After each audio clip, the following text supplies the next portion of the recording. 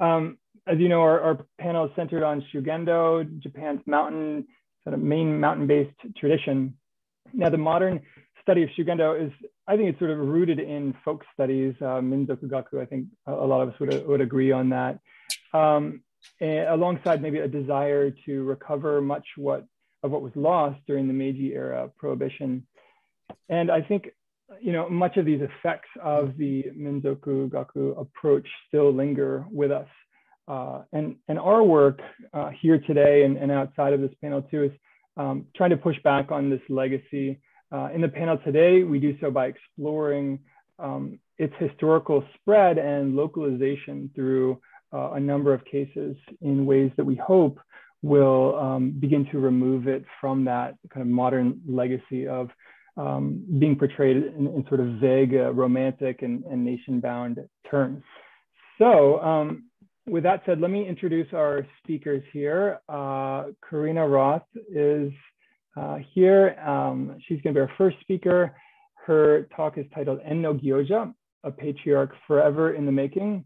Uh, next is Andrea Castiglioni.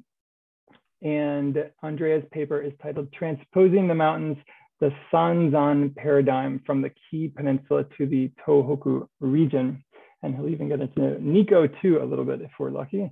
Um, my name is Caleb Carter and I will give the last talk. Uh, the title of mine is Interwoven Threads, Parallels in uh, Early Modern Shugendo and Shinto. And then we're delighted to have uh, Irit Averbach um, give some comments to kind of get conversation going. And we hope to have plenty of time for uh, questions from, from everyone uh, once we're finished. Um, so without further ado, oh, maybe just uh, a thank you to the organizers at EAJS and Ghent, uh, you know, overcoming the obstacle of, of online. You've done a great job and to our tech assistant today too. Um, and when we do get to discussion, we uh, prefer just a hand raising function. And if you're having trouble with that, then you can use the Zoom chat too. Um, and so without further ado, Karina, would you like to share Thanks. your slides and begin? Here we go. And then if everyone else, is just a reminder, if you could turn off your mics. Hmm, yeah. Okay. So shall I get going? Caleb? Okay. So uh, first of all, uh, thank you very much to, to the AJSD organizer. I'm very impressed by the complexity and the smoothness with, uh, with which everything works this week. And thank you for and thank you to Caleb for organizing this panel and for always being so nice and dynamic. I'm so happy to see you all. And even if it's virtually, it's just nice to see your names, see your faces. okay, so let's go to and see what we have around Enno Gyoja. So Enno Gyoja and the practitioner, wait, why doesn't this, this doesn't this work? Okay. Enno Gyoja and the practitioner is the most common name given to the traditional founder of Shugendo, the way to powers through practice. The only so-called historic source mentioning Enno Gyoja is a brief two-line sketch of his life in Shoku Nihongi, the sequel to the Japanese chronicles Nihon Shoki. Despite the faintness of his record, Enno Gyoja is overall treated as a semi-historical figure to this day.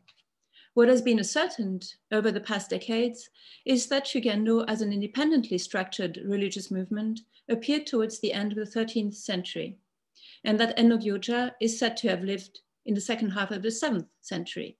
This means that his being seen as the head of Shugendo practitioners is necessarily a case of retrospective history in Suzuki Masataka's terms.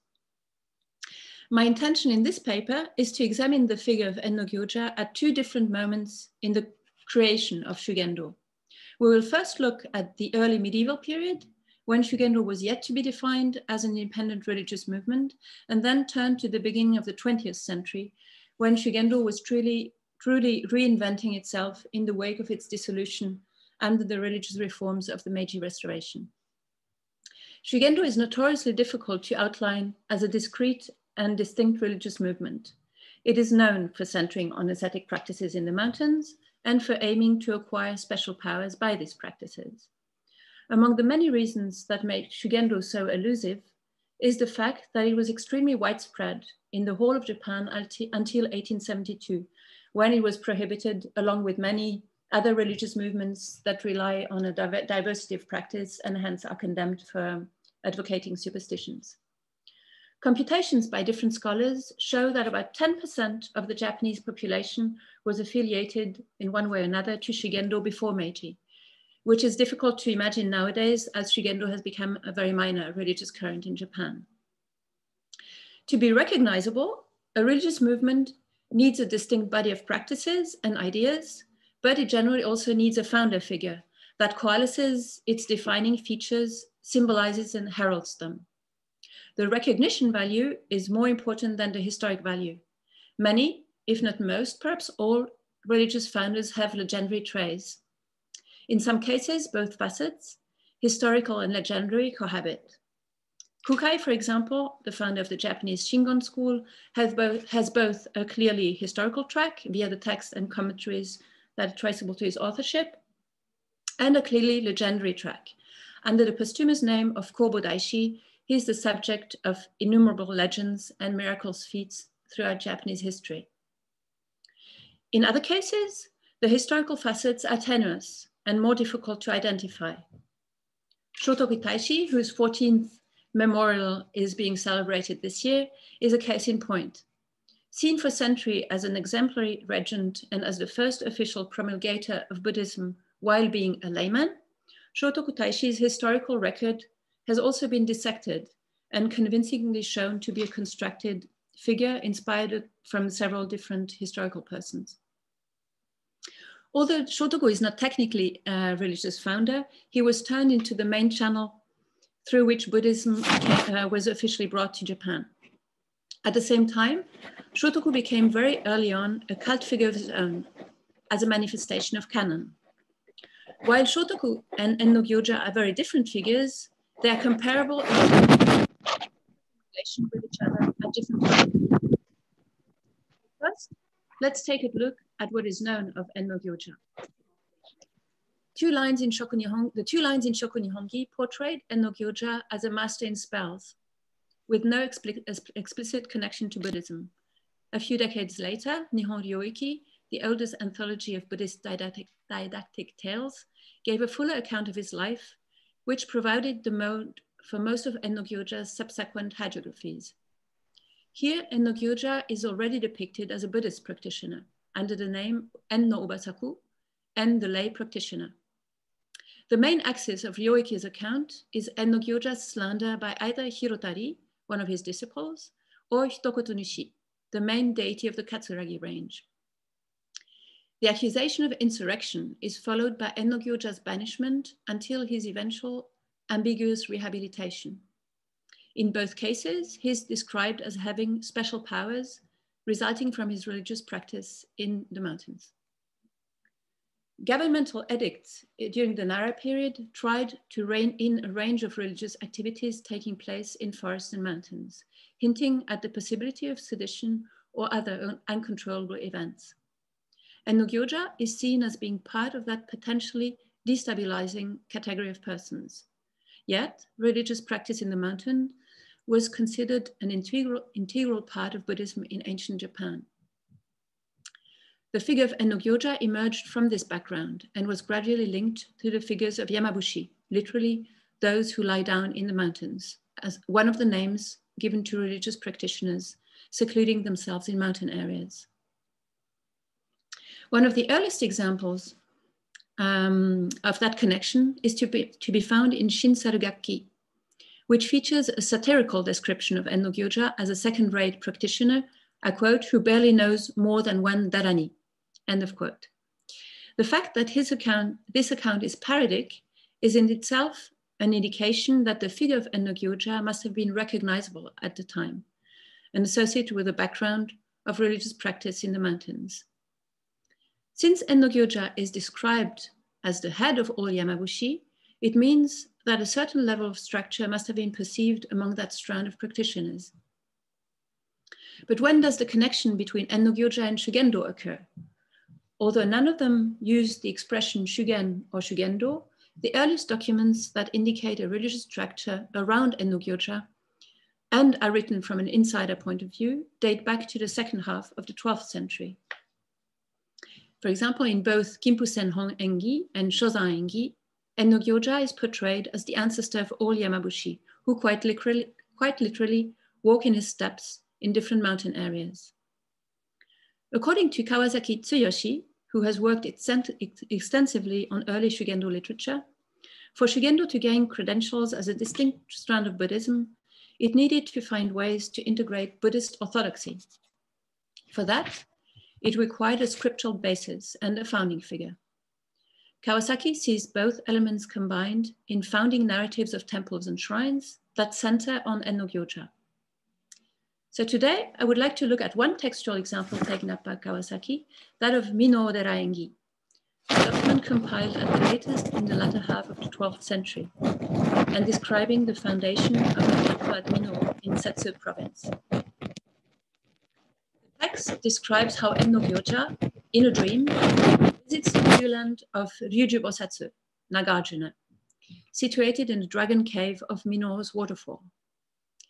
During this visit, Enno Ennogyoja is bestowed a ritual akin to esoteric Buddhist consecration in the presence of both Ryuju Bosatsu and Benzaiten.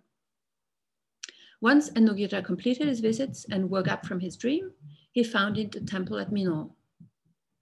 Kawasaki highlights the fact that through this dream consecration ritual, Ennogyoja fully enters Shingon lineage, since Ryuju Bosatsu, also known as Ryumyo, was the first or the third patriarch in the Shingon tradition. In a few lines, Mino Deraengi thus manages to transform Ennogyoja into an avant-garde Shingon practitioner more than 100 years before Kukai himself. How how influential was this interpretation? In several articles, Kawasaki demonstrated on the one hand that high-ranking Kofukuji monks, such as um, Kakuken and Jokei, reworked parts of Mino Deraengi into other documents, and that many hagiographic entries on Ennogyoja in later encyclopedies were based on that text. The passage examined by Kawasaki shows how a single image, that of Ennogyoja being consecrated by a lineage patriarch, is enough to create orthodoxy. The example drawn from Mino Deraengi is not the only uh, attempt to co-opt Ennogyoja, nor was Ennogyoja the sole contender for the position of founder of Shugendo. Shozan Engi, long considered to be a forerunner of Shugendo thought, offers a window on different attempts to transform Ennogyoja into both a founding figure and a vector of unification between different sites of mountain practice. It contains what is probably the oldest hagiography of Ennogyoja from a Shugen point of view, much of which relies on Nihon Ryoiki's account. It also includes fringe references to other figures, for example, Zendo, described as the initiator of mountain practice of, on Omine, as well as the first administrator of Kumano. Enno Ennogyoja's uncle Gangyo is also mentioned as an early practitioner who taught Enno Ennogyoja. Moreover, many regional sites of mountain practice have their founder, who is sometimes supplanted by Ennogyoja, sometimes not. Ennogyoja presented the advantage of already having a certain aura, since most major compilations of Buddhist tales included his hagiography. We have seen in the example of Mino Deraengi, the very fact that it was so sketchy was of advantage, as it rendered the circumstances of his life more adaptable. Still in Shozan Engi, for example, Ennogyoja is modeled into a wholly different lineage from the one presented in Mino Deraengi. Rather than be, being inserted into Shingon orthodoxy, Ennogyoja is integrated into an equally grandiose genealogy, that of the ancestors of the Kumano deities.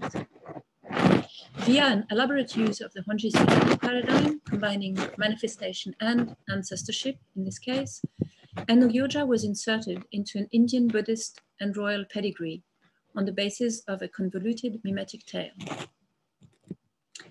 In the earliest form, in their earliest form, accounts of Ennogyoja's life had little substance to indicate a doctrinal leaning. The very absence of um, clear religious affiliation was compensated by his charisma as an, as an ascetic practitioner. But I see that there's a chat. Anyway. Oh, sorry. Um, the examples I've presented so far all date back to the times in which Shugendo had yet to create its imprint and was on the verge of becoming an actual religious movement. All of them show how important it is once a founding figure is chosen to model it according to one's needs. Throughout the medieval and pre-modern period, Shugendo has had a complex history and many, in many ways played a vital role in Japanese history until its suppression in 1872. It took the end of World War II and the new Japanese constitution for Shugendo to be rehabilitated. Contrary to the worst fears, however, Shugendo did not die out. The fear that Shugendo documents and traditions would be lost forever conducted a group of people centering on Giken, a Shugendo practitioner from northern Japan, to collect as many texts and documents as possible. Recently, several scholars, including Hayashi Makoto have given detailed accounts of the process through which Umiura and several others managed to not only preserve Shugendo material and textual knowledge, but also promote it via different channels. One of these channels was the Japanese Buddhist canon, Nihon Daizokyo, under the, edited, under the, and edited under the direction of Nakano Tatsue uh, between 1914 and 1921. Thanks to Umiura's dedication on the one hand, Nakano's interest in Shugendo on the other, the Daizokyo came to include three volumes dedicated to Shugendo material. Another channel was the creation of several journals dedicated to Shugendo documents and venues. The earliest is Jimban, which started in 1909 and was directly affiliated and still is to, to Daigoji, i.e. Shingon Buddhism. A decade later, two other journals saw the light. One of them was Shugen Kenkyu, by, uh, published by Shugen Kenkyusha in Shizuoka Prefecture. The other was Shugen, published under the aegis of Shogoin and later renamed Honzan Shugen. Both Jimban and Honzan Shugen tend to cater to their own practitioners and are still published today, whereas Shugen Kenkyu was unusual in having a broader cross-sectarian audience in mind. Despite the differences, all three journals shared partly the same pool of writers and editors, centering on, on Umiura Giken, Omiwa and Ushukubo Kozen. The first objective of these joint efforts was to save as much as possible of the vast cultural heritage of Shugendo, for fear that the Meiji policies would achieve their aim of eradication. By rendering Shugendo sources available to a general audience, the hope was also to gain public recognition of their value and thereby to rehabilitate Shugendo on a grand scale in managing to highlight its place not only within Japanese Buddhism, but within Mahayana Buddhism as a whole. In order to achieve these aims, the group focused on two famous semi-historical figures, Shotoku Taishi and Enno. Shotoku represented a moral and political ideal, and Enno Gyoja was presented as his spiritual ear. Hayashi showed how Umiura and his acolytes saw in Shotoku Taishi the precursor of Shugendo. According to Umiura, as quoted in Hayashi, Shotoku is the principal initiator of the culture in our country. He centered the roots of Japanese civilization on Buddhism, formulated the 17th article legal code, and set the foundations for the government. Our Ennokimi Jimben Daibosatsu admired the spirit of Shotoku and widely diffused Mahayana Buddhism by performing Shugendo as a commoner in mountains, forests, and households. It is important to pinpoint that Enno Gyoja is placed in direct correlation with Shotoku, with whom he shares the will to widely diffuse Mahayana Buddhism, as well as the status of a layman. Simultaneously, the ecumenical stance of Umi Umiura's group, whose aim it was to go beyond sectarian affiliations, should be underlined. In that, the choice of Shotoku Taishi is particularly helpful.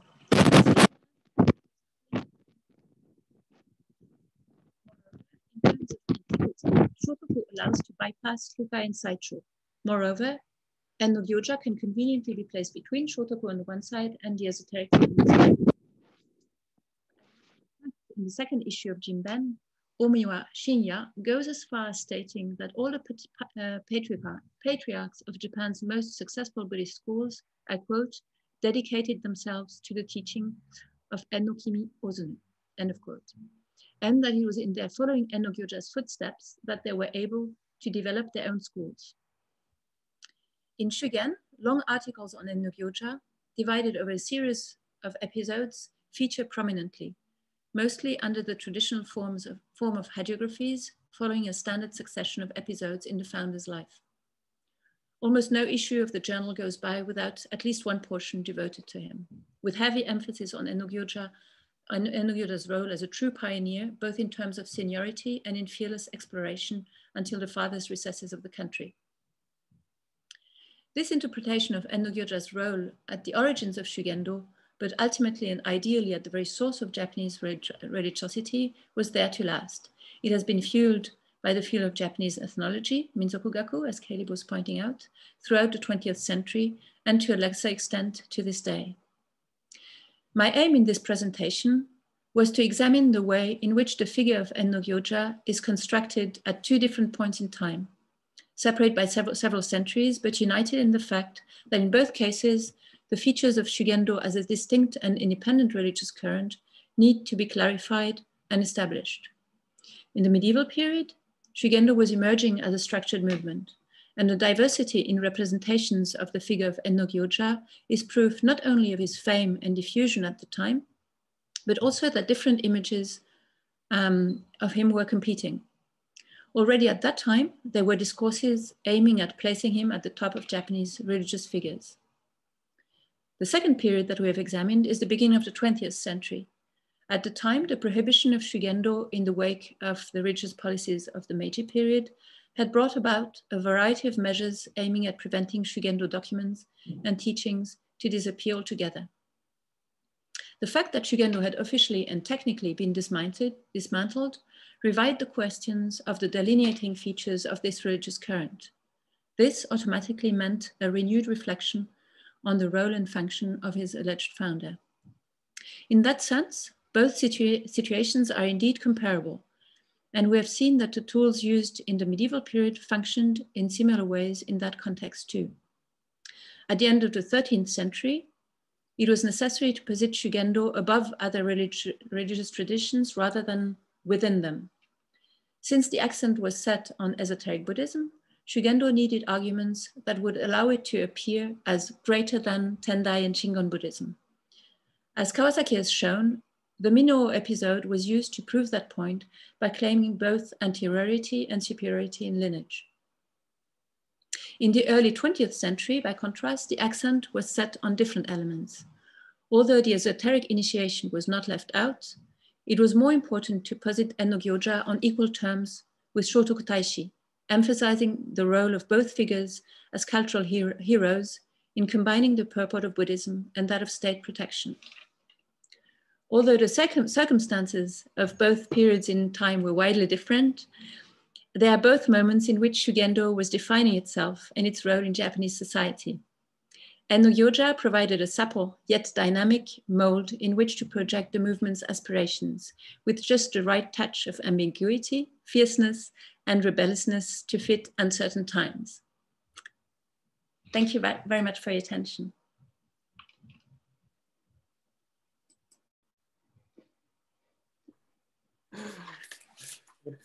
Thank you, Karina. Uh, wow. Okay. I, I, don't, have a, a, slide of you, Caleb. I, I will take care to put in one in my next PowerPoint. My apologies. okay. Allora, uh, okay. So, so my presentation is uh, on the transition of the Sanzan paradigm from Kii Peninsula to the Tohoku region. So you know that in Shugendo tradition, sacred mountains were not conceived um, as static natural environments, but as a living microcosm which could uh, um, welcome or reject humans, uh, fly in the air, and even replicate themselves in different geographical locations. So in today's presentations, I focus on the transposition mechanisms which characterize the dissemination of the cult of the three Kumano mountains, or Kumano Sanzan, from the Kii Peninsula uh, to the Tohoku region toward the end of the 13th uh, uh, century. Uh, this is a crucial historical moment, uh, not simply for the expansion of the uh, Kumano Sanzan cult beyond imperial network and the aristocratic elites of Kyoto toward hitherto unexplored peripheries, but also and most prominently for the consolidation of Shugendo as a, a sectarian movement within the boundaries of the medieval exoesoteric Buddhism, as Karina just told us a few minutes ago before describing the historical aspects concerning the recreation of the Kumano Sanzan paradigm within the Dewa uh, domain, which is in present-day Yamagata Prefecture, I want to concentrate on uh, a few uh, theoretical elements which are embedded in the uh, concept uh, of uh, transposition, but also extend to the notion of transmission, tradition, original, and copy. When taking into account uh, hybridization processes between Shugendo mountains, I think that uh, uh, J.Z. Smith's uh, definition of transposition uh, can be particularly useful. So for Smith, transposition is, and I quote, uh, a paradigmatic process set within largely syntagmatic series of actions which characterize the ritual. The respect in which this might, under certain circumstances, also be a that gives rise to a thought which plays uh, across gaps of like and unlike, unquote.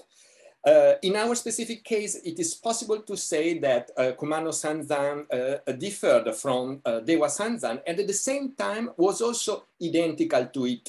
Uh, in other words, uh, Dewa Sanzan was interpreted as um, a geophysical manifestation of uh, Kumano Sanzan within uh, the natural landscape of the uh, northeastern region uh, for meeting devotional needs of the people living in this area. Nevertheless, the transposition of a sacred mountain with its complex pantheon of Buddhas and kami from one side to another was not a mere overlapping between two geographical landscapes, but implied the inoculation of extra local cultic discourses into a local specific religious context. This means uh, that the Kumano Sanzan cult had to uh, slightly modify its uh, original structure um, in order to be accepted and spread among the Tohoku populations. This capability to change is not only the engine of transmission, but also of tradition, which does not provide uh, an acritical replication of the past, but a constant betrayal or creative adjustment of it in order to stay in tune with the present space and time of reality. Devotional practices focused on Kumano Sanzan took root in uh, the Tohoku region only because they were modified and revised to match with the uh, already existing characteristics of the religious panorama of this territory.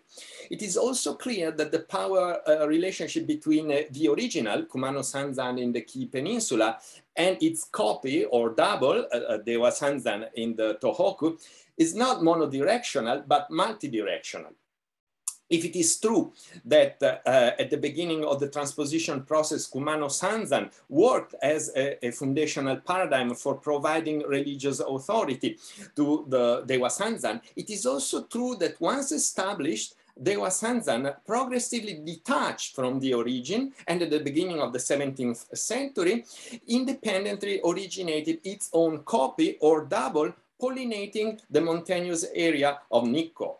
It goes without saying that the continuous overlapping process between Shugendo mountains, the legitimacy uh, of the original and the subordination of the copy was immediately lost and replaced by the mutual fertilizing tension between porous networks of sacred peaks. So the oldest written source which, testify, uh, which testifies uh, uh, to uh, the religious activities connected to the transposition of the Kumano Sanzan to the northern domains is a 1278 legal contract that ratifies the uh, transfer of administrative rights over a group of uh, Kumano Sanzan parishioners at Danna based in the Taicho village of the Dewa domain to a Kumano Sendatsu called Sodobo. Kumano Sendatsu or Kumano guides were the human actors who uh, practically foster the uh, tra uh, translation of the Kumano Sanzan cult into various Tohoku provinces ritually founding and administratively organizing local parishes made of religious confraternities uh, of lay devotees who worship the deities associated with the three sacred sites of Kumano, namely Hongu, Shingu, and Nachi. So the name uh, Kumano Sendatsu denoted uh, heterogeneous groups of uh, itinerant religious professionals who performed a wide range of different ritual practices while sharing a common devotional focus on Kumano Sanzan, uh, the natural environment of which provided the site for their ascetic practices, the Shugyo, and the legitimizing source for their religious activities. A relevant part of Kumano Sendatsu were uh, mountain ascetics, so Yamabushi, who had some sort of affiliation with temples associated with the Tendai network of Shugendo. So that's the, we're talking about uh, Honzan-ha. But uh, the variety of those religious professionals called Kumano Sendatsu extend far beyond Yamabushi. Uh, among Kumano Sendatsu, there were also experts in uh, chanting uh, of the Buddha's names, so Nembutsu Hijiri, found rising itinerant religious performers, Kanjin Hijiri, uh, itinerant ascetics uh, from Mount Koya, Koya Hijiri, Kumano itinerant uh, female practitioners, Kumano Bikuni, who often specialize in oral narrative um, connected with the um, ritual um, with the ritual display of devotional paintings of Kumano landscapes, such as the famous uh, Kumano E or Kumano Mandala. Female shamans were also there, the Miko, who were expert in uh, ecstatic uh, possessions. So the necessity to extend uh, the financial basis of the religious uh, institutions of Kumano beyond the support of uh, emperors and provincial authorities inspired the activities of the Kumano Sendatsu, who became the human mediators thanks to whom the sacred geography of this mountainous range could be transmogrified into new sites. But how could Kumano's uh, Sanzan and its multi-layered pantheon of Buddhas and Kami be practically transposed from one location to another. Kumano Sendatsu employed a ritual technology based on uh, the invitation protocol, the Kanjo Gire, which was normally used during the Dharma assemblies, the, the Hoe, to summon those kami who were granted the status of uh, Dharma protectors, the Gohojin, together with Buddhas and Bodhisattva for supervising the exposition of the Dharma made by Buddhist monks. In the case of Kumano Sanzan, it was arguable that Kumano Sendatsu invited the three kami of uh, Hongu, Shingu, and Nachi, together with their um, original Buddhas. Uh, Idest, Ketsumiko no Mikoto, the Honjibutsu Amida Nyorai, Hayatama uh, no Okami, the Honjibutsu Yakushi Nyorai, and uh, Fusumi uh, no Okami, Honjibutsu Senju Kannon, and the five princesses, the Gosho Oji, to specific lots of land in the northeastern region where they were enshrined into pavilions it is interesting to take into account that among the five princesses, uh, the cult of the last one, uh, Komori no Miya, the Honjibutsu Shokannon, was particularly widespread in the Tohoku region, probably due to the fact that a strong worship of this type of Kannon predated the diffusion of the Kumano Sanzan cult. For example, uh, uh, Kumano Taisha in Nanyo area uh, can be considered one of the most ancient Kumano Sanzan shrines founded by Kumano Sendatsu in the 13th uh, century. Its devotional triptych uh, is constituted by three wooden statues of the original Buddhas of Kumano, namely Amida Nyorai, Shokannon, and Yakushi Nyorai. In normal conditions, uh, the central deity should be Amida Nyorai, Hongu, uh, but in the case of Miyauchi Kumano Taisha, the Sendatsu manipulated the original Kumano Sanzan paradigm, giving to Kannon, Nachi, the central position and placing Amida and Yakushi on either side. Kumano Sendatsu also tweaked the Honjibutsu of Nachi from Senju Kannon to Sho Kannon in order to meet with the worshipping taste of the devotees living in this area. We have seen at the beginning of this talk, hybridity and flexibility rather than preservation and stability are two fundamental qualities for an effective cultic transposition. So it seems clear that uh, materiality played a pivotal role in the diffusion of the Kumano Sanzan cult. In particular, Kumano Sendatsu relied on portable materiality, which facilitated their movements on the ground and could be easily disseminated among new communities of potential devotees. Uh, three were uh, the most important objects for their religious activities hanging Buddha uh, plaques, the kakebotoke, uh, for displaying the true body uh, of the kami of Kumano in the shape of original Buddhas outside the shrines, mirror icons, the kyozo, and the ox bezoar talismans, the go-o hoin uh, of Nachi, which were highly prized for their apotropaic and healing qualities.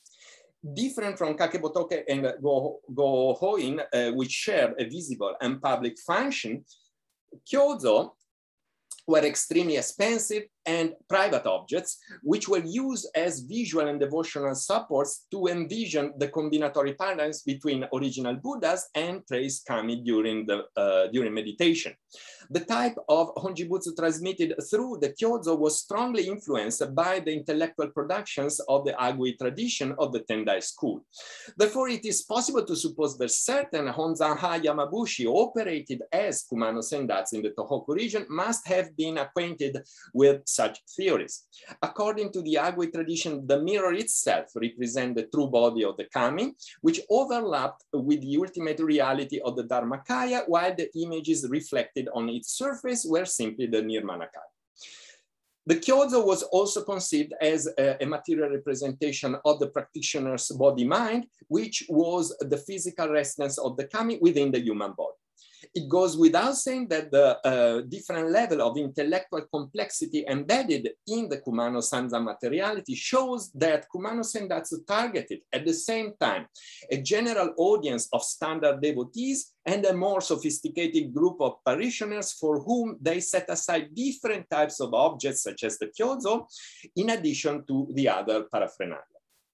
To create a religious confraternity dedicated to the cult of Kumano Sanzan in the Tohoku area meant that Kumano Sendatsu and their networks of local proxies, such as Yamabushi or lay co-administrators, Sewanin, had to uh, uh, keep providing their uh, parishes with uh, ritual practices as well as religious items. Only in this way were Kumano Sendatsu able to attract the necessary financial revenue in the guise of offerings for sustaining uh, uh, other um, expansive cultural activities on the territory. Among the most ambitious uh, projects launched by Kumano Sendatsu for spreading the cult of Kumano Sanzan in the northeastern domains was the geo-ritual uh, remapping of a vast uh, mountainous area in the Dewa province, which started to be venerated as a, a, a geophysical avatar of uh, uh, Kumano Sanzan.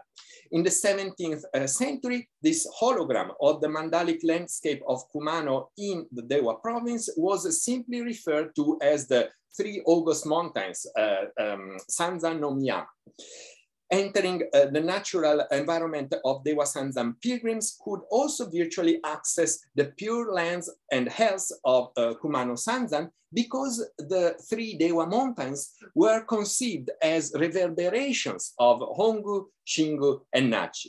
Nevertheless, in the case of Dewa Sanzan, uh, the uh, exact structure of the uh, three mountains paradigm was never stable, but always in motion.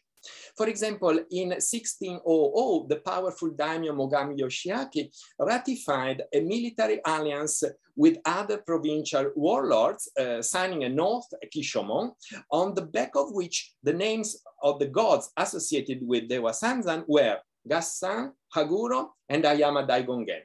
According to other coeval written sources, the three mountains of Dewa refer to Gassan, Haguro, and Chokai, so it is evident that uh, the Sanzan paradigm was supposed to shift according to the religious preferences and, uh, and the pilgrimage routes chosen by the devotees.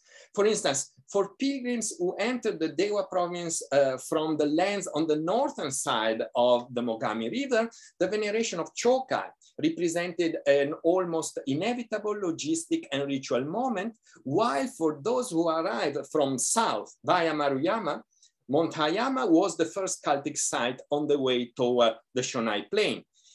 either northern Dewa Sanzan, Chokai, Gassan, Haguro, or southern Dewa Sanzan, Hayama, Gassan, Haguro, the triad of original Buddhas, Yakushi Nyorai, Amida Nyorai, Shokannon, substantially overlapped with the archetypical triad of original Buddhas at Kumano Sanzan. Nevertheless, uh, all the sacred mountains of the Dewa province, uh, different from those of uh, uh Kumano, also had a shared inner precinct, a shared Okuno-in, which was uh, Mount Yudono. The original Buddha associated with this sacred boulder called Gohozen, which is constantly enveloped in a thin layer of hot water, was Dainichi Nyorai.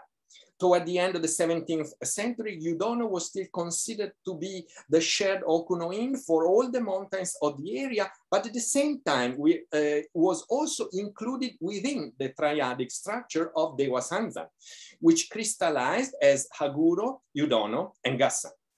The incorporation of Yudono inside the Sanzan paradigm was probably politically motivated by the Haguro's attempt to strengthen its control over an extremely exuberant religious center such as Yudono.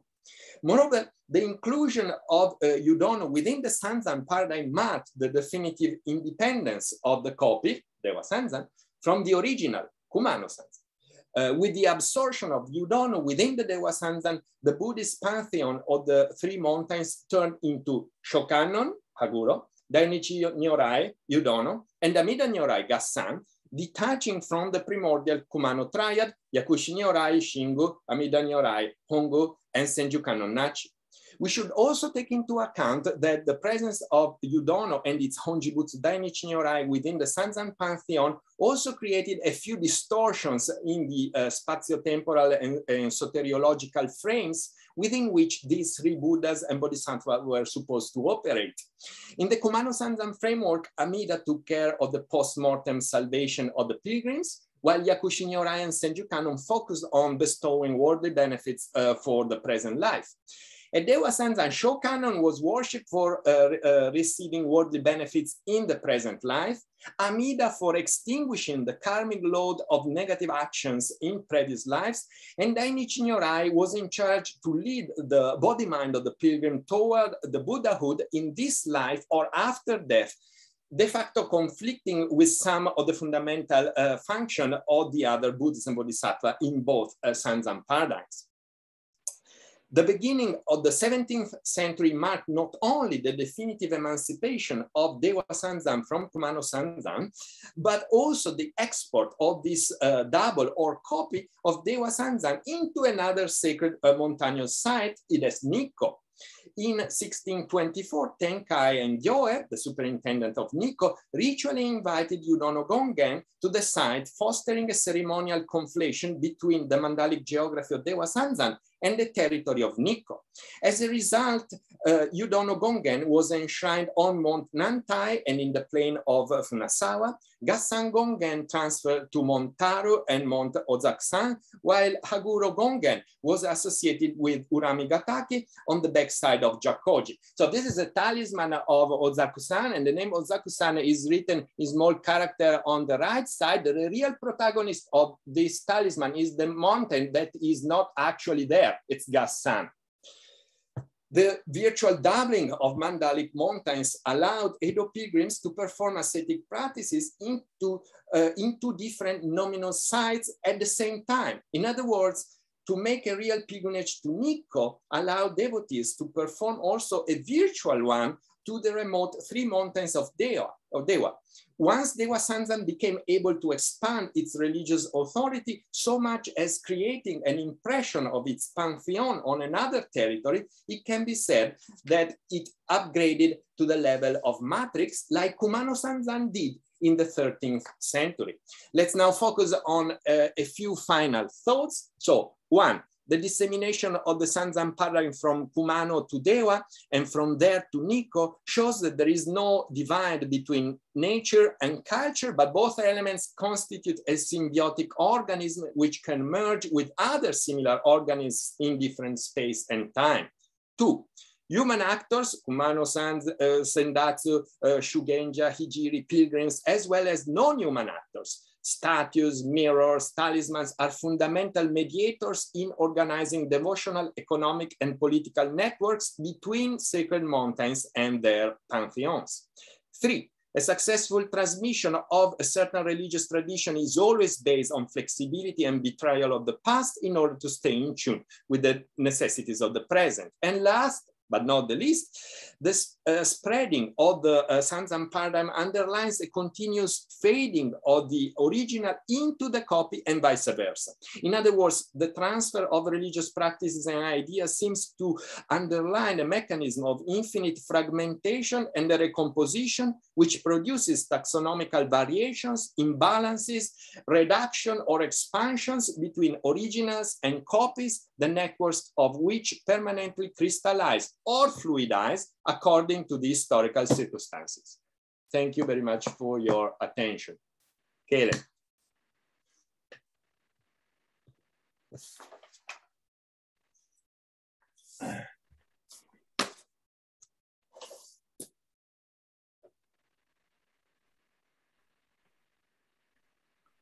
Okay.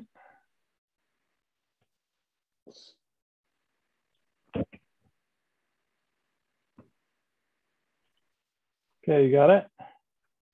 Yep. Let's see.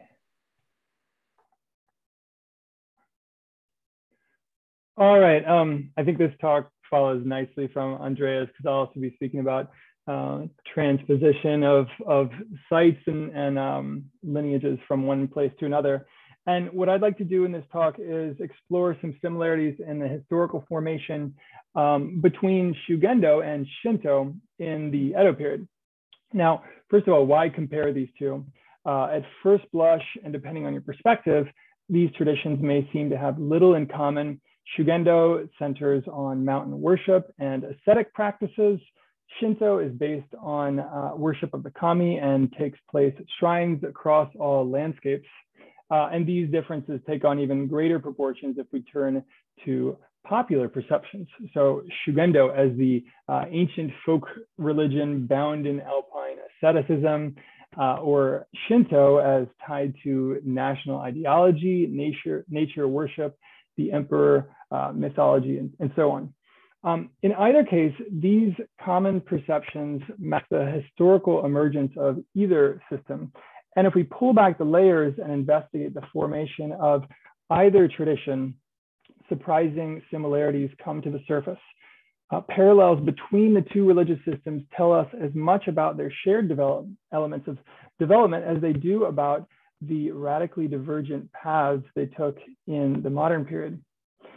Now, in thinking about Shinto, important research in recent years offers a historically rigorous antidote to modern narratives, though approaches to the historical timeline vary considerably among scholars. Uh, while Helen Hardacre's recent work, for example, prefers an approach favoring continuity in the history of Shinto and looks toward ancient institutional structures for its emergence. Uh, Mark Teeuwen, on the other hand, argues that the medieval appearance of specific terminology and a conceptual framework mark the emergence of Shinto. My own approach uh, to both Shinto and Shugendo uh, follows more closely to that of Mark Teeuwen's. Uh, perhaps most important to me in locating the emergence of Shugendo in particular is identifying evidence of when, where, and how it became a self-conscious religious system. In other words, something that practitioners uh, self-identified with and, and, was recognizable to, to others. Um, to put this paper in some context, uh, the material I'm going to share today comes out of a larger project of mine that traces the development of Shugendo over the course of the uh, late medieval and early modern periods. And I do this through the case of uh, Mount Togakushi. Um, and uh, I, I, look basically at how it develops over time at this site. Um, I've got a, a, book coming out on this next spring, hopefully. Um, but this research, uh, while I was doing it, it led in new directions too that I didn't anticipate. And one of those was uh, local Shinto history. Um, two things were especially interesting uh, in, in what I came across through the uh, historical sources. First of all, uh, it occurred in the Edo period, relatively late uh, in comparison to the, the overall history of the site. And second, I found that the means by which this Shinto presence entered tracked closely with certain Shugendo developments at the site too. Um, and so today I'm going to share a few of those examples. Um, first, I'll just give a brief uh, timeline of Shugendo at Togakushi. Uh, I have here in, in sort of gray color this earlier date, 1458, when a major text at the site is compiled, the Togakushi-san Kenkoji Ruki. It's, it's sort of a, a large engi of the site. Um, now, this text is often cited as evidence of Shugendo at this time. What I found in, in reading through it are related rituals and especially sort of a, a Mikyo uh, framework to doctrine and practice at the time. But there's no lineage, uh, no self-conscious language or conception of Shugendo at the time. Um, so my conclusion of Togakushi Shugendo is that it enters in the 1520s um, with an important figure in Shugendo known as Akubo Sokuden.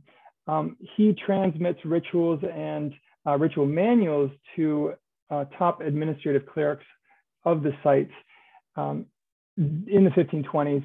Um, after this, we, we find uh, growing references to practices and identity uh, in, a, in a Shugendo community there.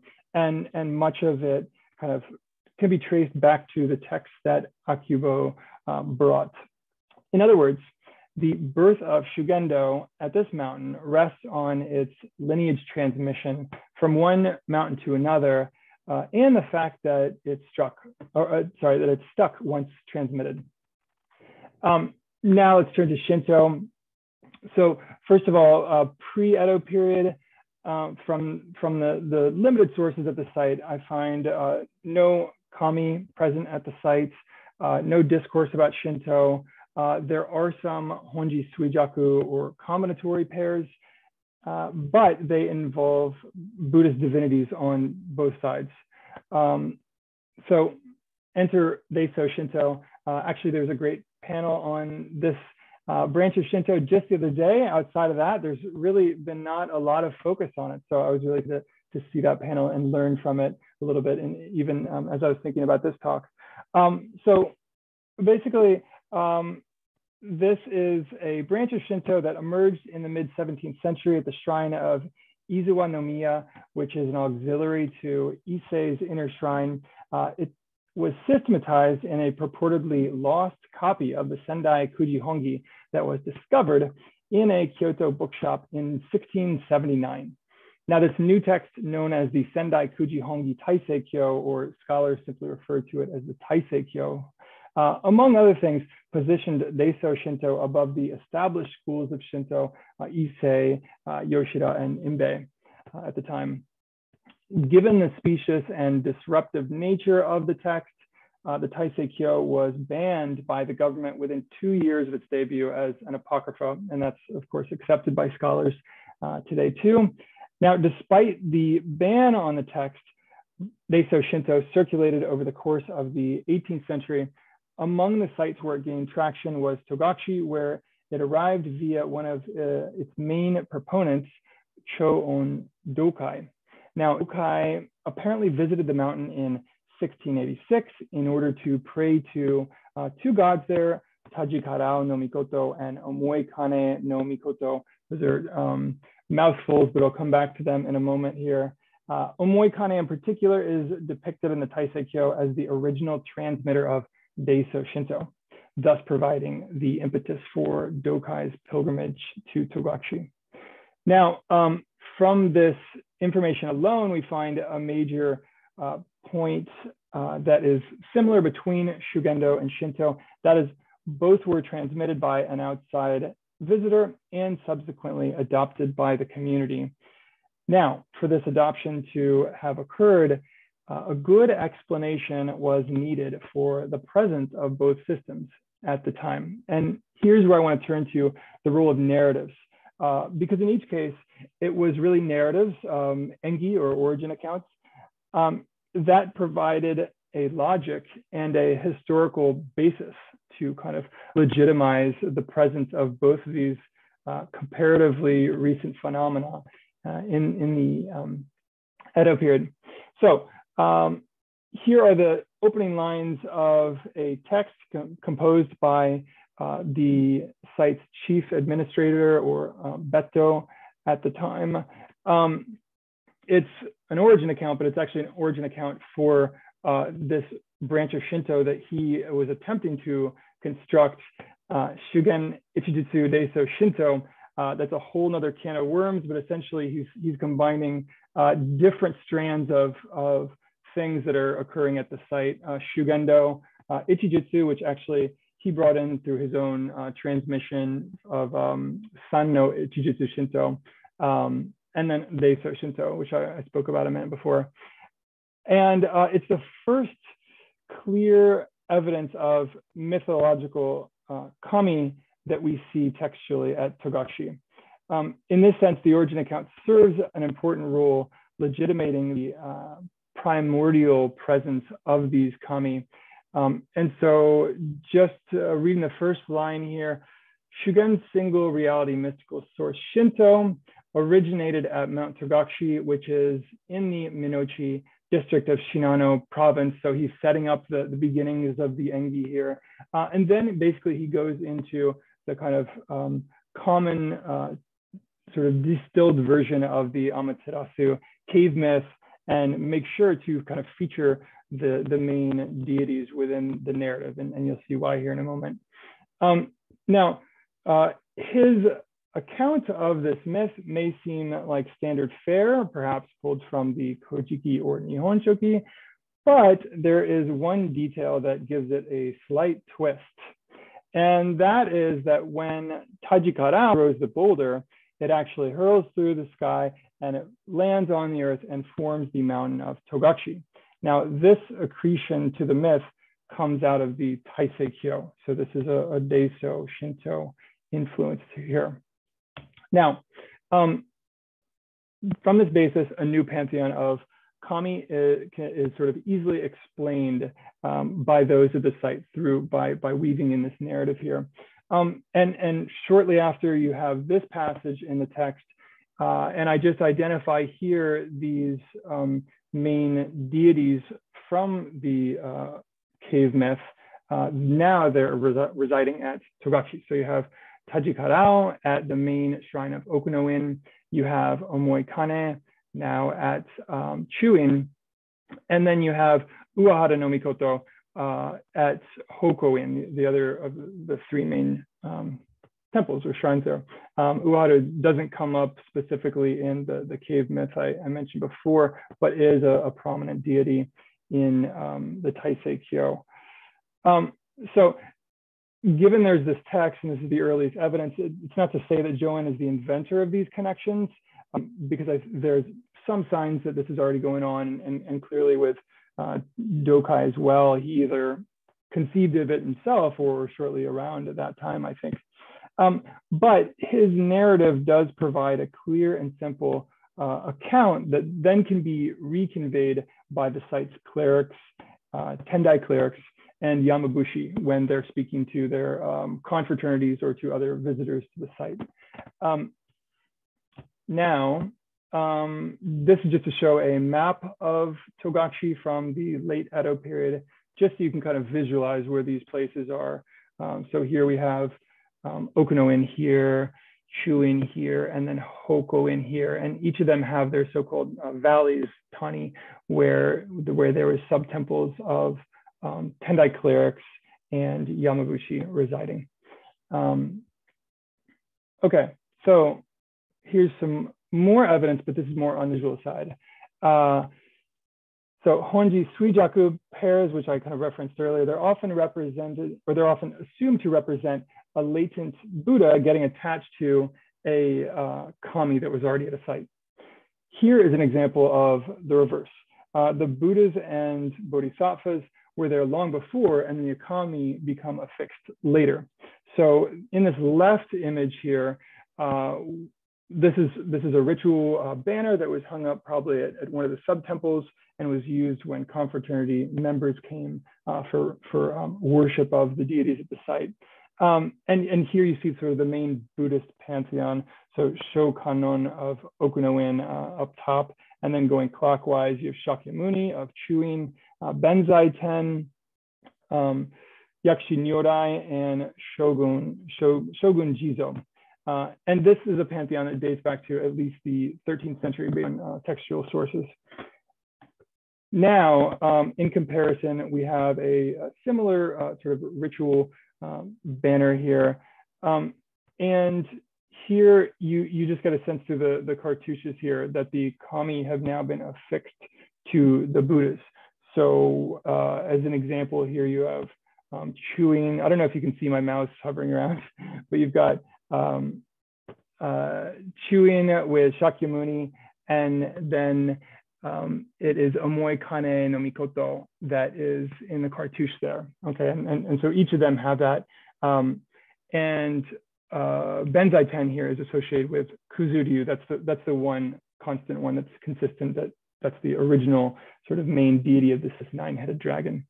Um, one point that I think is interesting to note is that these are contemporaneous, these two images, uh, but uh, of course, the, the one on the left doesn't contain this newer kind of um, kami accretion yet. And I think that's simply because not everything is moving uniformly at the site. All of these sub-temples are operating um, under the Beto, but they're also semi-autonomous too because they have their own confraternities and so they have their own sets of rituals and whatnot.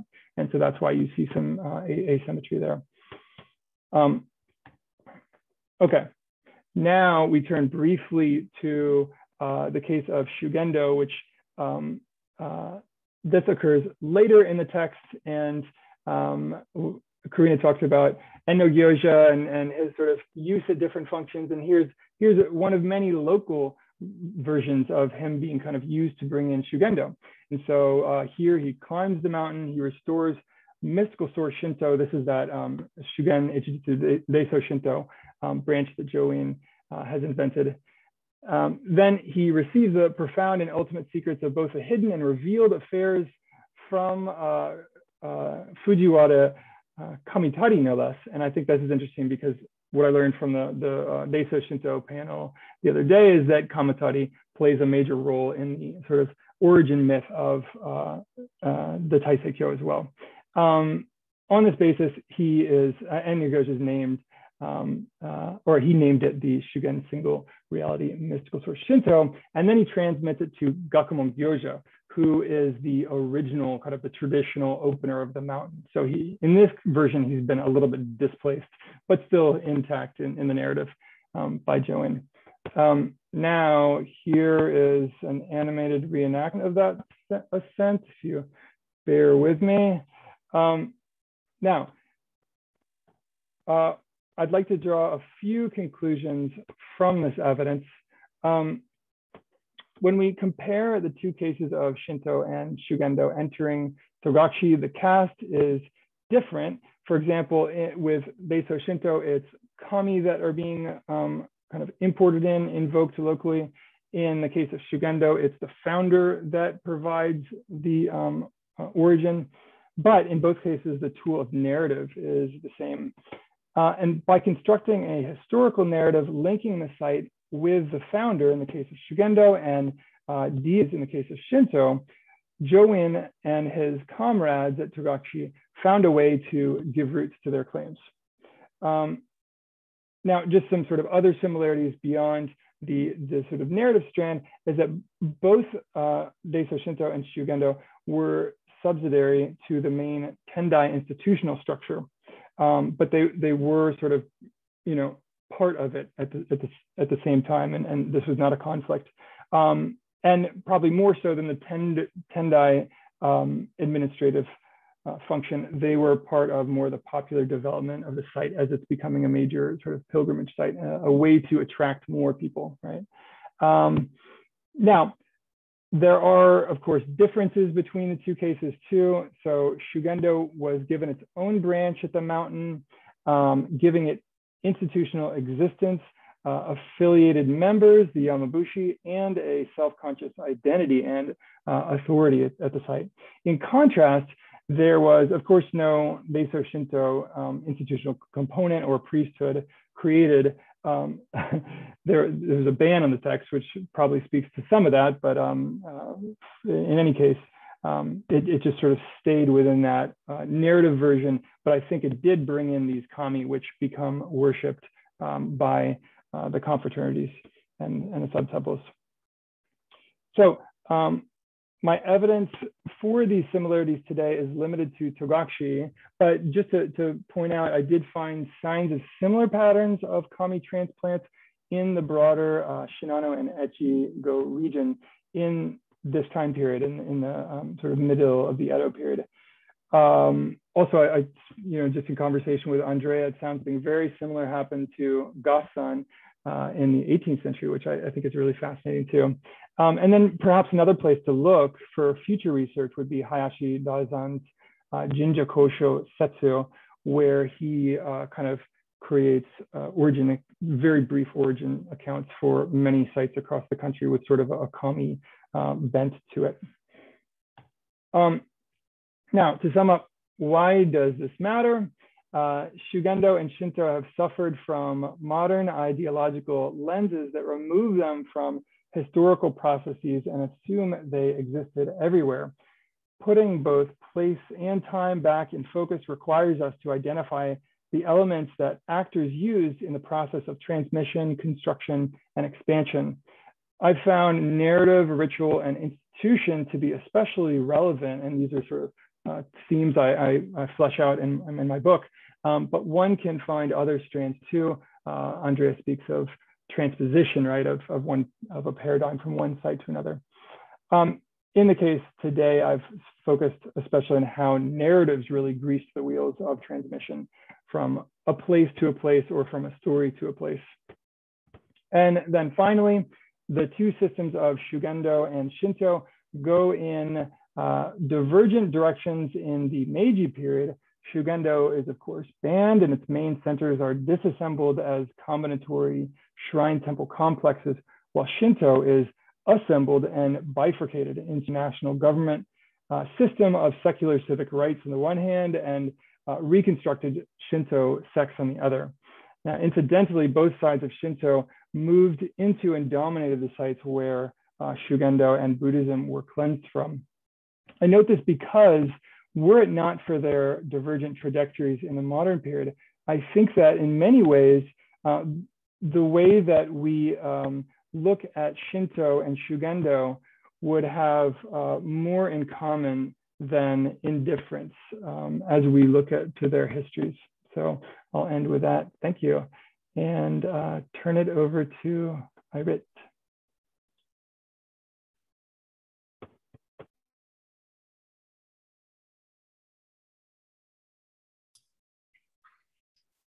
Hi, thank you so much for these three fascinating papers.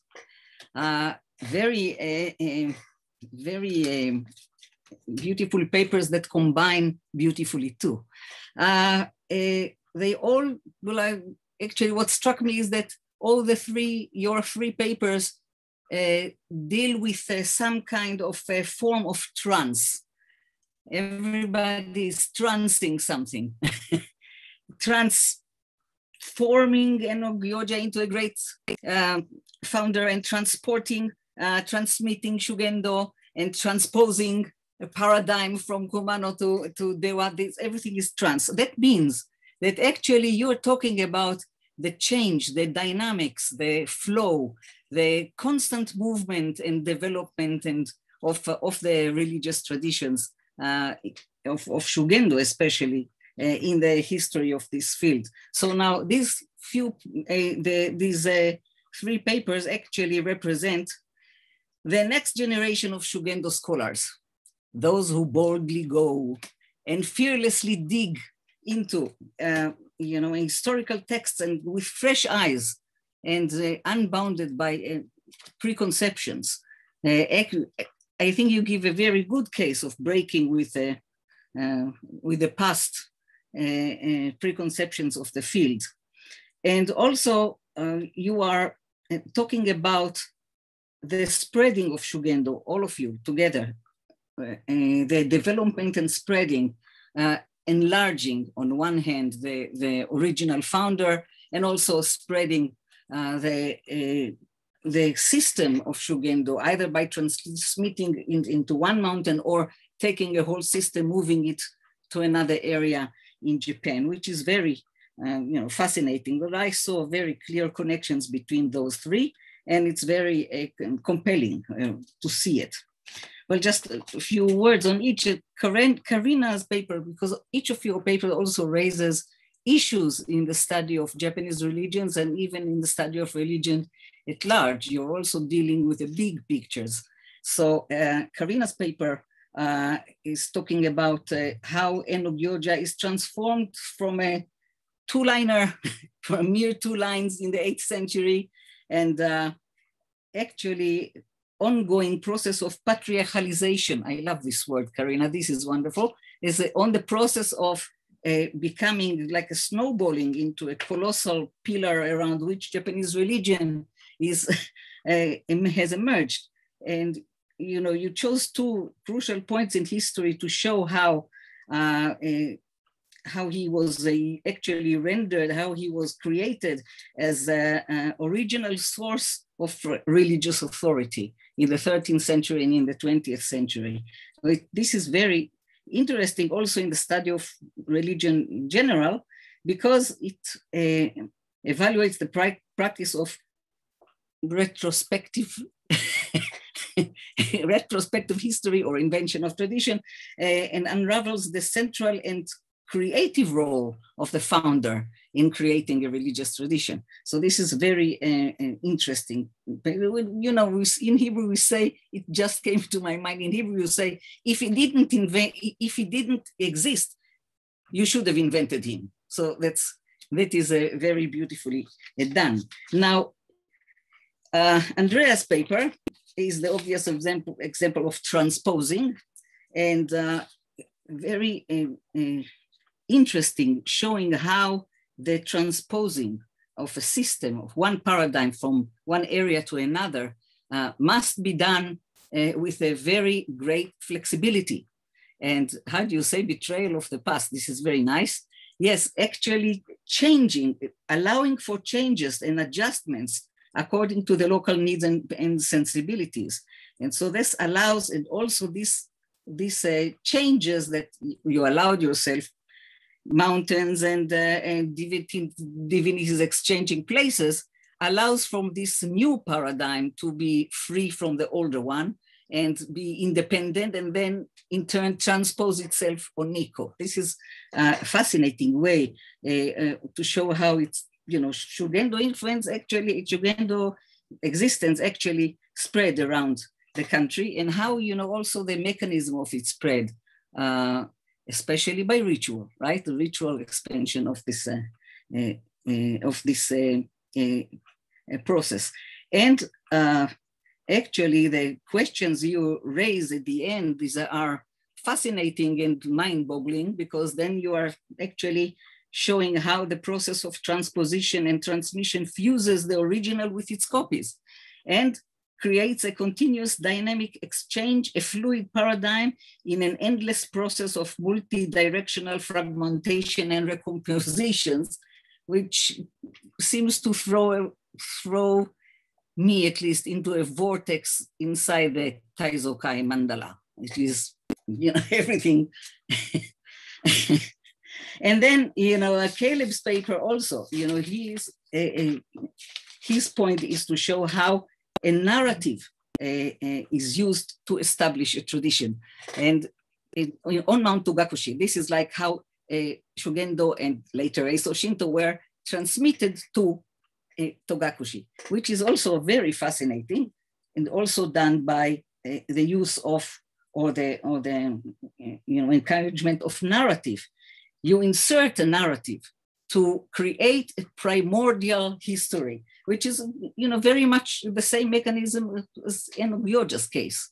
Here too, Enno figures uh, uh, you know inserted to give a, a authority, and uh, uh the combinatory Reiso Shinto case is quite interesting. And this one paper, I was struck, you know, the parallels are fascinating. I think this is like a new, uh, a new way of looking at things, how these traditions you follow each other, use the same mechanisms and uh, merge inside each other to try to, to build themselves. History then plays different role and throws them both apart, but uh, the, the idea of the uh, following the footsteps uh, is very interesting. Also, uh, it is this case teaches us a lesson about preconceptions. I mean, a mountain with no local kami, only Buddhas, and even the dragon is imported this is fantastic. This is a, I'm sure it's not the only one, but it's very fascinating case, right? Uh, to show how misconceptions we have about the, the history of uh, Japanese religions. Now, also one of the, the stories that the, that the text of the Reiso Shinto tell uh, about how you know you create you already have an ancient origin. So now you have to have an origin of the origin. How do you do that? you write the history of the mountain itself. Now, the very mountain itself was hurled from the sky down by Tachikara Ono Mikoto. Now, that is what I call transmission. Not transmission, trans, transposition or whatever. Transportation. This is also you can you can establish establish authority by primordiality like this, and the use of narrative is very interesting. Okay, so just uh, to sum up, uh, these uh, new fresh-eyed studies illuminate historical realities once denied or ignored, and uh, they present a welcome trend of both uh, the welcome trend of both vertical, in-depth investigation of various mountains histories, but also the reciprocal connections and mutual influences of horizontal, parallel nets of doctrinal and ritual systems that will sharpen and enlarge the picture. And the, the clearer the picture becomes, the more complicated it becomes. And I congratulate you for that. Uh, this is a, a on a personal note, I have been enjoying this very much because it reminded me how fascinating the study of Shugendo is with its promise of magical powers and multiple worlds and uh, Buddha's deities, dragons, and all. Thank you very much, Gokuro-sama deshita. Thank you, Irit. Thank you so much. Thanks so much, Irit. Um, maybe since we've only got 10, say if we go over we can go over a little bit too, but um, minutes left, we just jump into uh, questions to get as much um, you know participation as we can. So uh, I see um, Bernhard Scheid has his hand up, so yeah, go ahead. Thank you very much, um, and hi to everybody. um, yeah, uh, I have a, a specific uh, question to Caleb uh, regarding Join uh, whom you mentioned as um, as an important figure, um, uh, obviously in the background of uh, of, of, of, of your cults. Um, he's of course, I, uh, if I'm not mistaken, he's one of the big names also in Sanno Ichijitsu Shinto, Shinto, isn't he? So he is, um, I mean, many things that we know about Yes, and his certification are actually uh, from works by, by this join, if I'm not wrong. Is, is it the same? Yeah. And uh, That's which, right. Which which implies uh, that there must be strong strong ties between Togakushi and uh, Kan'eiji or the Tendai establishment in Edo. So um, yeah, I mean, uh, and in, in if if if this is correct, then um, uh, you see, and you you might probably um, also. Um, I mean, now uh, in Irit's uh, comments, it seems that everything is possible, isn't it? and uh, here, but if we if we look at the uh, uh, uh the persons who uh, the age agents who are involved, you see these are people of a certain authority, and it's probably these uh, authorities in the background who allow or disallow certain connections. And I think it's important to uh, to uh, point out, out, out, these authority uh, issues. So um, I would actually uh, add to what Caleb explained that it's maybe no um, coincidence uh, that that this Tendai establishment or the Shinto part of the Tendai establishment tried to enlarge itself by uh, by uh, by interfering in what's going on in uh, in Shugendo, probably in in opposition to that kind of anti-Buddhist uh, Shintoization that uh, we were de describing in our panel. Uh, might that be correct, Caleb?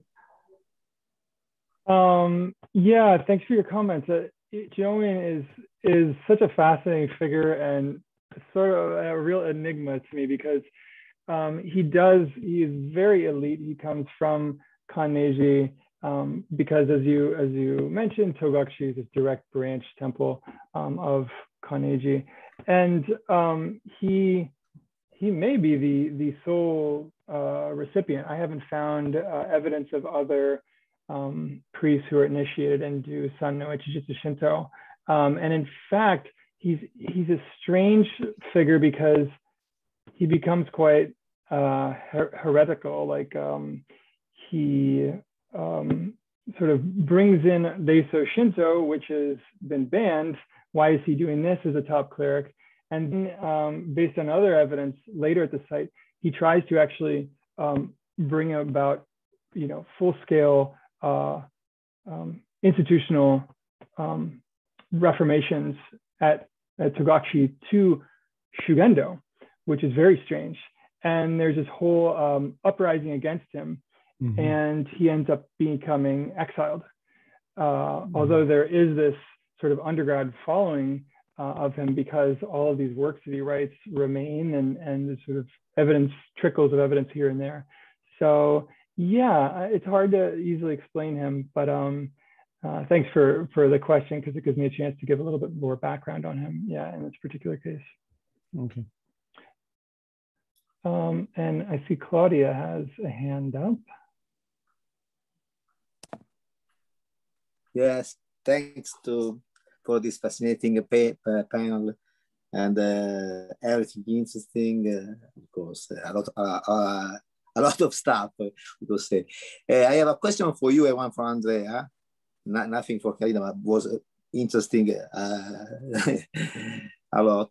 And for you regarding this, we were we were talking about this expansion of the Shugendo as a quite brand uh, fit to branding new places no, in the Edo Judai. It means that expanding with, yes, with Sokuden as a, a main uh, author and uh, from the ritual point of view and expanding in many places. But I was wondering regarding uh, uh, Togakushi, to what extent they uh, uh, work out in extending their network. I think the, the, the question was to expand the Dan, the Dan to get much more, more of uh, the Kanshin stuff, much uh, uh, money to, to bring much economy in the, in the place. To this operation, no? to bring the, the Shugendo in Togakushi, to what extent, uh, to what extent extended the network of uh, mm, the, the Togakushi uh, where it arrived in, in Edo, I don't know. For, ex for example, Iko-san arrived uh, in Kagoshima as well. There was people in Kagoshima or in uh, Yamaguchi. To what extent there is a, an expansion of the uh, the Togakushi network after the Shugendo transformation uh, inclusion in the in the if uh, you know uh, regarding uh, to Andrea, I, I was wondering when they changed in, in uh, when they became independent from Kumano, there were the realities still connected with Kumano, Gongen, uh, a little bit conflicting in the uh, on in the ground in the same area with Dewa Sanzan. uh, when Dewa Sanzan acquired some um, enough power to be independent, there was some remaining.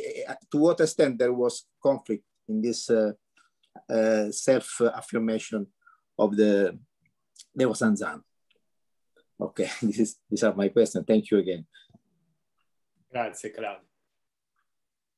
Caleb, you go first. I go after you. I go. Well, um, see, uh, I would say until the, if, if we look at the Engi of uh, the Sanzan Engi of the, um, Deva Sanzan Engi of the 17th century, we still see that this arrival of the uh, Kumano Sanzan Gongen to the Dewa Sanzan is still depicted. So, as you said, Claudio, there, there is always this need to borrow the charisma of the origin, the charisma of Kumano, it's, it's never harm, no? You always want it. So there is this connection still there, at least in the 17th century uh, Engi mono that, uh, Engi that we have.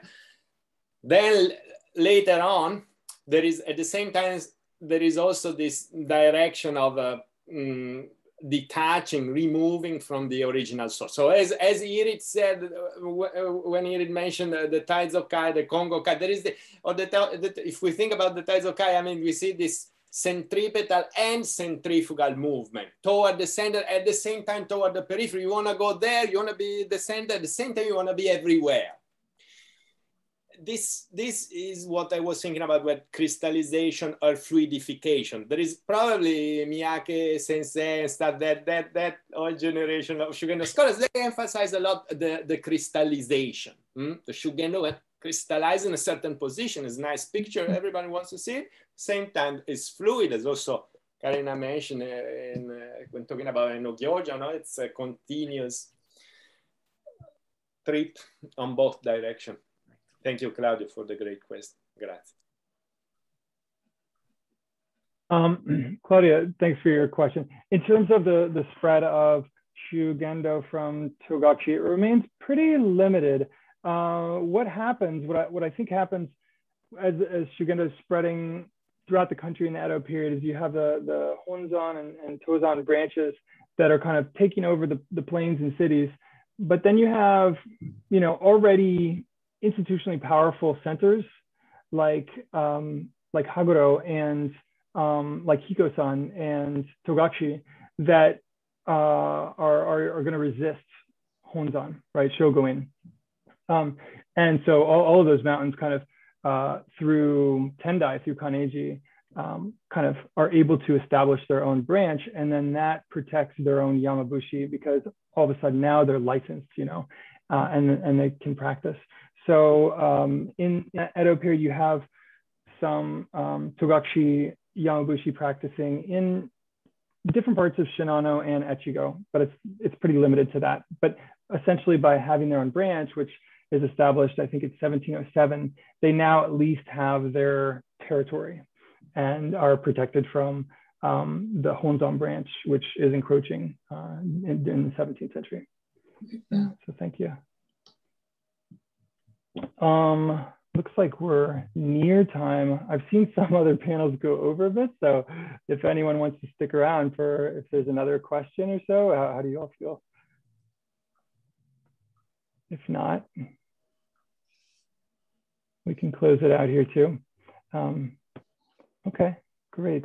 Uh, one thing I forgot to mention in the beginning um, is that uh, just, just to sort of throw in a plug for um, the book that just came out, Defining Shugendo, and Andrea and Karina are actually actually editors on it. Do you have your books? You could show up uh, in front of the cameras if you want. There we go. Um, beautiful jacket. So uh, we all have um, articles in there too. So if you're interested in learning more, you can uh, visit Bloomsbury or, or maybe Amazon too. Um, and uh, thank you so much, everyone, for attending. This has been really fun. And I look forward to seeing you at other panels over the next day. Yeah. Yeah. Thank you. Yeah. Thank you so much. And thank you, Irit, for your great comments. Thank you. that was wonderful. It's wonderful. It's too short. I wanted more. want more of you guys. Um, uh, what what panel were you talking with Bernhard Scheid about? I think I missed it.